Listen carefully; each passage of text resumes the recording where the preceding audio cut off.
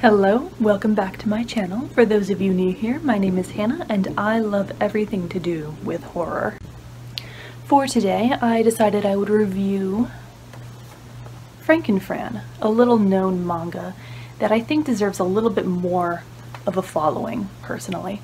It's about a young lady, Fran, who was, who, like Frankenstein's monster, was created by a genius scientist and surgeon like her creator, she has decided to become a genius in the same fields herself, and now people from all over the world come to her in desperate need for life-saving and otherwise life-altering procedures, and she accommodates them, no matter how impossible the task. Unfortunately, Fran's idea of success is more than a little different than the average Joe's.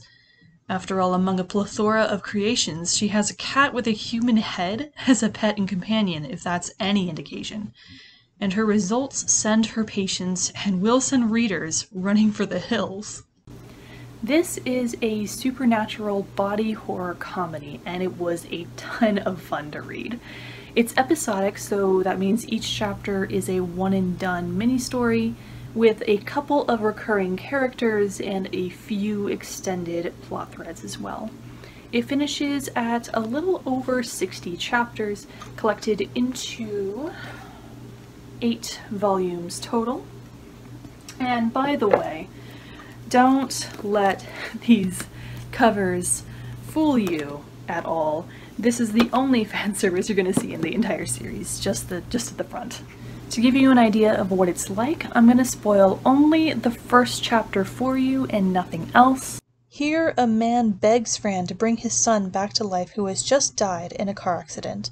Fran, moved by the father's desire to save his child, agrees. You'd think it's a typical father who loves his son dearly, but no. In fact, the father has murdered his son and set it up to look like a car accident all because the, father, the grandfather decided to bequeath a massive fortune to his grandson rather than to his son. The father doesn't care what his son's quality of life will be, even if it's in a vegetative state. He just needs someone he can manipulate in some way. Fran notes that Dad is dead and cannot bring the son back to life, unless it has some sort of power source, so to speak. Her solution? Using the loving father as this power source, she pushes the father into the operating room, forcefully sedates him, and surgically attaches the son's head to his father's head, and the son's brain to the father's brain, connecting all of their thoughts and memories. In a wonderfully sick twist of karmic justice, the father is stuck with his son, who, by the way, knew, knows he was murdered by his dad for the money for the rest of their lives.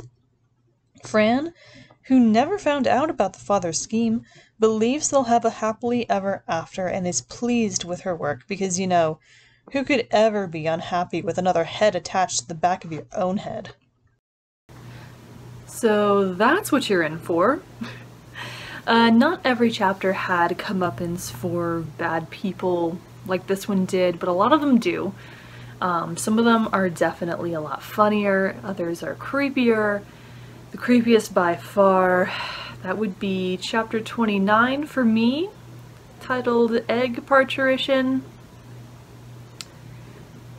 Pretty sure it scarred me for life.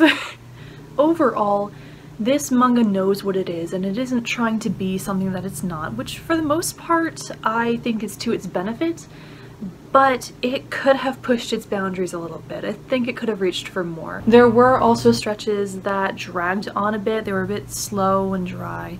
And in, addition to that, it doesn't really stick the landing on the finale. It sort of tapers off, kind of like it's a little bit tired. So considering all the highs and the lows, I would give this manga probably like a 7 out of 10 or perhaps like a high C. Um, I'm not sure what type of rating scale I'm going with yet, so just bear with me on that.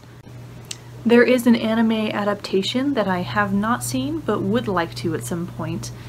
Maybe in the future I might do a volume by volume spoiler filled review, um, but that's probably going to need a reread with that amount of detail and it's not very high priority at the moment. I've got some other projects that I'm excited to start filming. But yeah, just let me know what your thoughts are. I'd love to hear them. I'd especially like to hear if you've read it already. Did you read it and love it? Did you read it and hate it? Or did you read it and just forget about it?